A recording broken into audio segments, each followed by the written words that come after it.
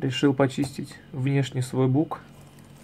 Соответственно, чистил клавиатуру, нажимая все кнопки подряд. И наткнула меня на мысль одна вещь.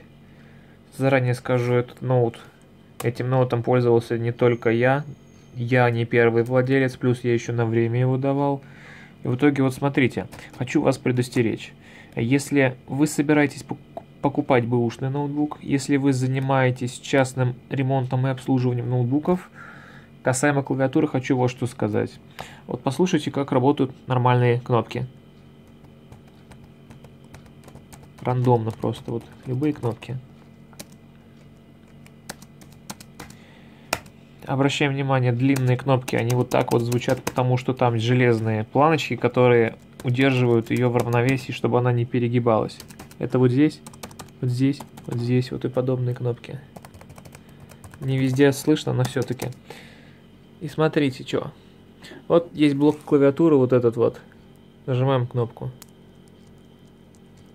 Был легенький хруст, и она туговато жмется. Соседняя норм. И нажимаем вот эту кнопку. Сначала нет, давайте, вот эту вот. Они одинаковые. Они с железочкой, они одинаковые. Нажимаем эту. Нормально. Нажимаем вот эту. Слышите разницу?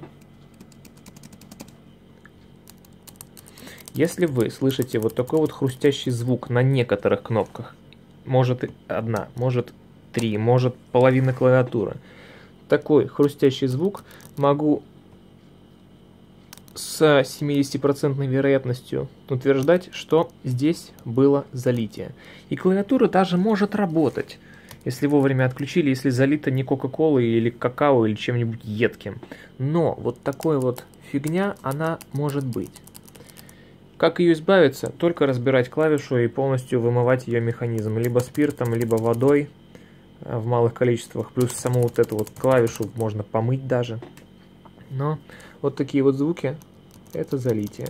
Это вам такое вот предупреждение, если вы хотите купить бэушный ноутбук, но не знаете, как проверить клавиатуру, даже не включая, вот нажимаете кнопки, если все ок, ничего не липнет, ничего не заклинивает, нету вот таких хрустов, значит, скорее всего, все ок. Если ее не вымыли, конечно, с ферри, как я это иногда делаю, она хрустеть даже перестает потом. Вот так вот бывает. При этом клавиатура полностью работает, кстати. Этой кнопкой я не пользуюсь, я даже открывать не буду, мне все равно. Хрустит чуть-чуть и ладно. Вот понажимала, она даже чуть-чуть перестала. Это туговато, она тихо работает, это перестала. Нет, шуршит все равно.